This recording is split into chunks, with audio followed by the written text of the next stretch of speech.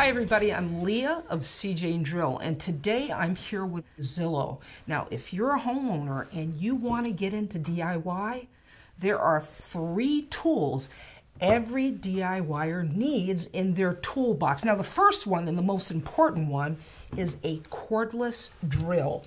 Now, I'll tell you, when you're selecting a cordless drill, the thing you want to take into consideration is how does it feel in your hand? You're looking for a drill that's just right for you. Now, this drill here, well, it's on the smaller side. It's a 12 volt. It's easy to handle what's good about a cordless drill is it has real flexibility. You're not tethered to a cord, so if you have to work outside and work on the roof, you're not really worried about a power supply. Now, the other thing that is so valuable about a cordless drill is it can double not only as a drill to bore holes, but also as a screwdriver. Now the next tool is something that everybody's seen, and that is a circular saw. Now why are these things so valuable? Well, I'll tell you, they're very versatile when it comes to the kinds of lumber and stock you can cut. You're not just limited to cutting wood. You can cut laminate, you can cut paneling, you can cut even plexiglass. Now here's the thing, you don't have to purchase the most expensive circular saw. Purchase something that your budget's gonna allow. And if you're gonna make a big investment, invest in the saw blade itself because that's really the workhorse of the tool. The next tool and the last tool you'll want to have in your toolbox is this. Now what is it?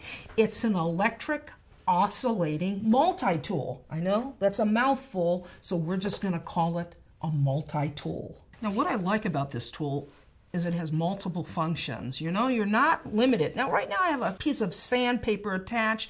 You're not just limited to sanding, but this tool also cuts and it scrapes as well. So the multi-tool comes with various blades. Blades that perform different jobs. This blade here is a blade that's for grout removal. In the event that you want to remove the grout in your tile and then re-grout.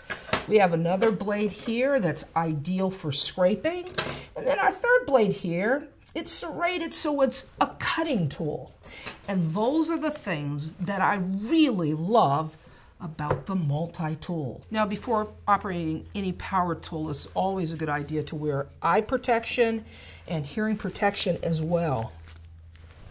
Now the first thing I'm going to demonstrate is I'm just going to bore a hole with this cordless drill and show you just how easy it is.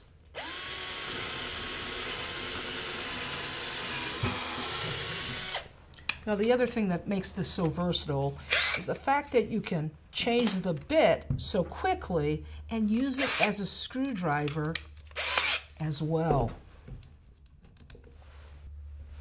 Now I'm just going to drive this self-tapping screw. And there you go.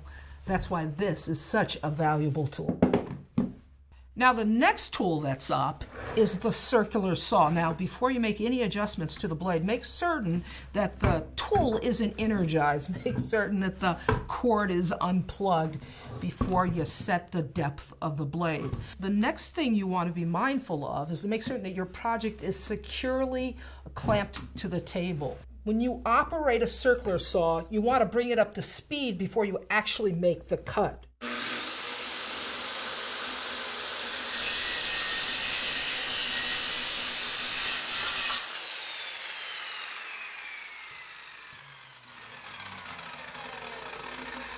And I always like to, the blade to come to a complete stop before I let go of the tool. That way I don't take any chances whatsoever getting my hands or my clothing caught in the blade. Okay, so the thing about the oscillating tool, when you're using it as a sander, it's really great for tight spaces. Now, for demonstration purposes, we're just using a 2x4 to show how it sands.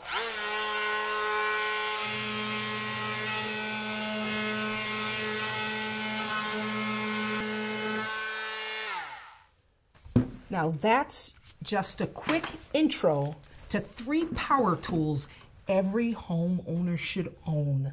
This is Leah saying you can do this. See you next time.